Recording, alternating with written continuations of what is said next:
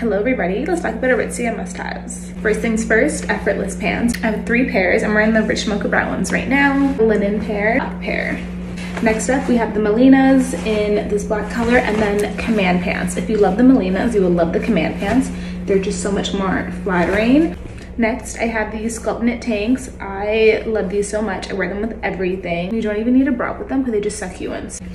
Next is the coat that is such an investment piece, but totally worth it. Is a sweatsuit. I have three or four different sweatsuits, but I just brought out a gray one to just show you quickly crew neck, or you can get the hoodie or the zip ups. Lastly, my puffer vest. I'm always wearing this with a sweatsuit underneath. Love it with a baseball cap and sneakers and like good to go.